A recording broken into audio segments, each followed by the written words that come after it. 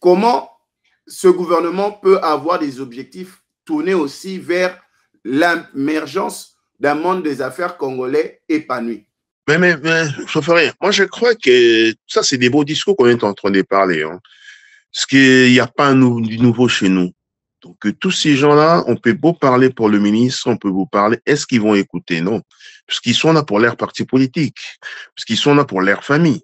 Ils sont là pour s'enrichir, c'est tout. Le chef de l'État a dit qu'il veut faire des Congolais millionnaires. Ils peuvent ben, s'aligner derrière ça. Faire les Congolais millionnaires. Si, il a, il a raison, il a dit qu'il devait faire les Congolais millionnaires, mais il faut qu'il y ait l'attractivité économique et financière. Mais s'il n'y en a pas, on peut beau parler, mais il n'y aura pas de millionnaires. Donc, euh, Monsieur le Président, quand il a dit ça, bah, il faut qu'il y, ait le marché des crédits. On a un petit, euh, un petit marché des crédits. Il n'y a pas de liquidité très importante. La Banque centrale est incapable de, de il confond un peu l'inflation à court terme, à long terme.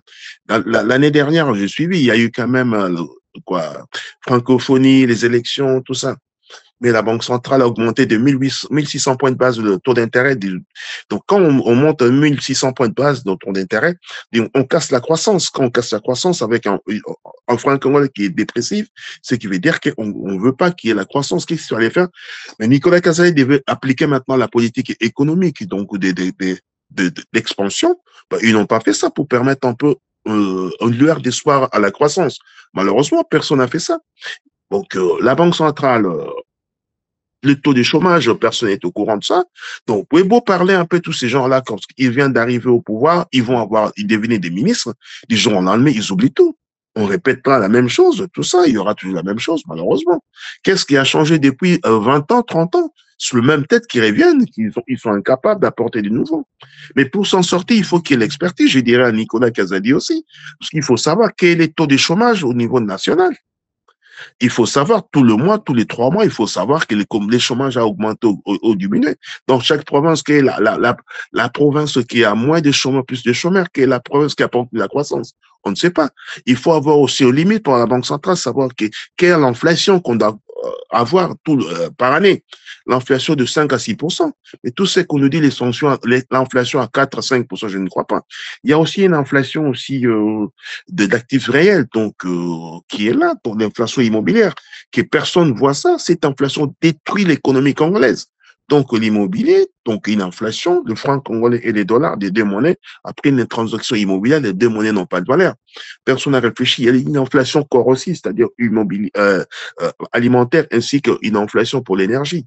Voyez un peu quand il y a moins d'électricité par-ci, par c'est une inflation parce que la production doit impacter sur euh, les consommateurs. Ce qui veut dire qu'il y a une inflation cachée aussi que personne ne fait attention. On peut beau parler, donc il y a beaucoup de choses à arranger, mais les gens ils font pas attention. On se rébuffe dans, dans secteur seulement en oubliant l'autre. Pour s'en sortir, l'âme, le franc congolais une monnaie dépressive qui remplit pas les trois critères d'une monnaie. Unité des comptes, oui, intermédiaire d'échange, mais revenir de valeur, non. Donc, ce qui veut dire que le franc congolais, on ne peut pas investir là-dessus, on ne peut pas acheter quelque chose, donc, c'est-à-dire épargner là-dessus. Donc, il faut que la Banque centrale puisse vraiment comprendre ce qu'il faut faire, mais avec l'air politique monétaire, j'entends parler pour l'instant, ça n'a rien apporté, malheureusement. Donc, euh, le franc congolais est toujours en dépression. Donc, des fois, les présidents demandent, il faut faire assez que la, euh, la, le franc congolais puisse retrouver euh, la valeur, tout ça, malheureusement, je dirais aussi, avec le régime d'échange flottant, sur les marchés qui régulent le taux de change, l'offre, la demande. Ce qui veut dire qu'on a une monnaie qui est moins euh, euh donc euh, importante, ce qui veut dire que la forte monnaie, le dollar, déprécie notre monnaie. On peut pas avoir l'ancrage avec les deux monnaies. Une fois les francs qu'on est ancrage avec le dollar, le dollar doit dominer toujours. Donc, ça veut dire que les taux d'intérêt en franc congolais est calqué sur le dollar, ce qui fait dire qu'il y, y aura toute dépression du franc congolais dans l'économie congolaise. Donc, vouloir ou pas, les francs, les francs congolais arriveront un jour à 30 ou 40. Pourquoi? Parce que la politique monétaire n'est pas bonne appliquée par la Banque centrale. Il n'y a pas la symétrie, la polysymétrie monétaire entre, budgétaire monétaire entre le ministère des Finances ainsi que le ministère de, de, la Banque centrale.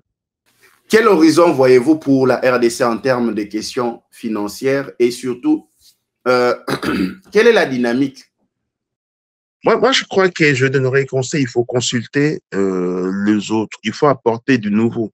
Il faut pas rester figé sur ce qu'ils vous avez là-bas, tout ce que vous faites. Moi, je me souviens avec vous, on avait fait des émissions, je vous dirais tout le temps que le budget n'était pas conforme. Moi, toi, tu m'as dit un jour, oui, mais cette année, ça y est, non, c'est rien, c'est pas juste.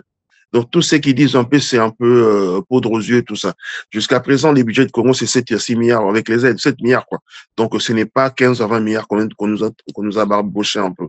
Ce n'est pas critiquer mon gouvernement. J'ai dit la vérité pour qu'il change, c'est tout. Je ne suis pas là pour tirer euh, sur l'ambulance, jamais. Je le ferai pas. Je ne critique pas ni les chefs pour dire que c'est non. J'ai dit que il faut changer les choses.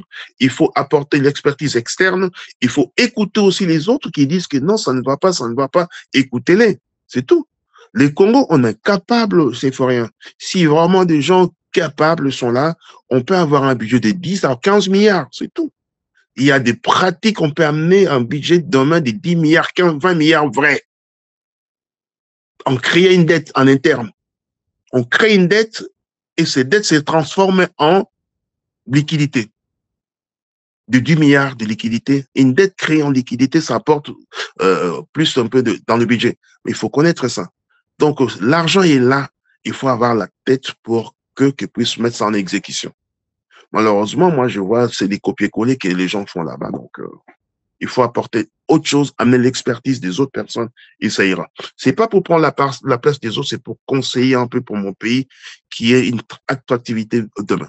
Euh, je dirais que peut-être euh, j'ai pas été trop dur. Hein, si les gens trouvent j'ai pas été, je j'ai pas été trop dur, je préfère dire les vérités et non froisser. C'est pour l'intérêt national. Je vise pas une personne ou deux personnes, mais j'ai dit que pour un Congo, un bon Congo, il faut accepter les critiques mais c'est pas pour des critiques un peu euh, bêtes, quoi. Moi, je suis là pour festiger une, deux personnes, mais des critiques positives pour l'économie nationale et euh, tous ensemble, on vaincra euh, l'impossible. Un grand merci, Aimé Lambala. C'est moi.